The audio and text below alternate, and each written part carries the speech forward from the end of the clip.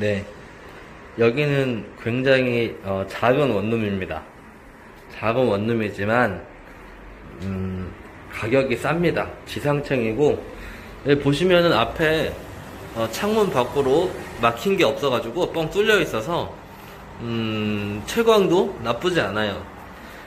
일단 신대방역에서 일- 한 10분 정도 잡으면 될 것 같습니다. 10분 정도.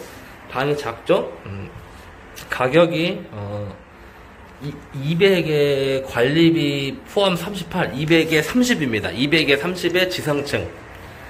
관리비 8만원에 도시가스 포함이고 전기만 따로입니다. 그렇기 때문에 어, 뭐 전기세는 뭐 많이 나와야 뭐 1, 2만원 정도 나오겠죠.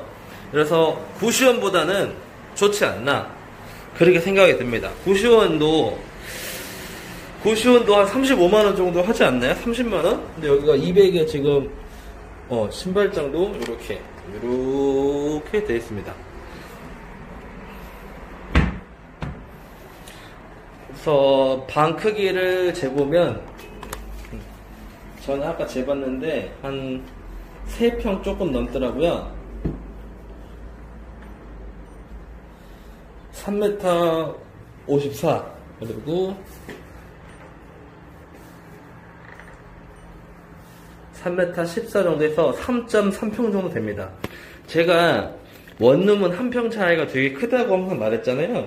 제가 아마 주로 올리는 4평짜리랑 요거는 3.3평짜리랑 한 평 차이가 많이 크죠. 그렇기 때문에 어, 원룸은 4평이냐 5평이냐 3평이냐에 따라서 체감하는 어, 넓이가 많이 다릅니다. 그래서 여기는 오늘 날씨가 우중충하지만 채광이 아주 좋은 것 같, 좋을 것 같은 그런 호수네요. 그리고 고양이도 된다고 합니다. 고양이 옆집에 피해 안 주는 한도 내에서 고양이까지 된다고 합니다.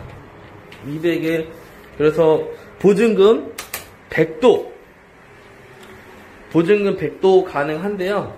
어, 보증금 100이면 대신에 직장이 있는 분 한해서 왜냐면 월세를 밀리면 좀 주인 입장에서 불안하기 때문에 직장이 있고 월세를 확실하게 낼 수 있다 하면 보증금 100도 가능하다고 합니다.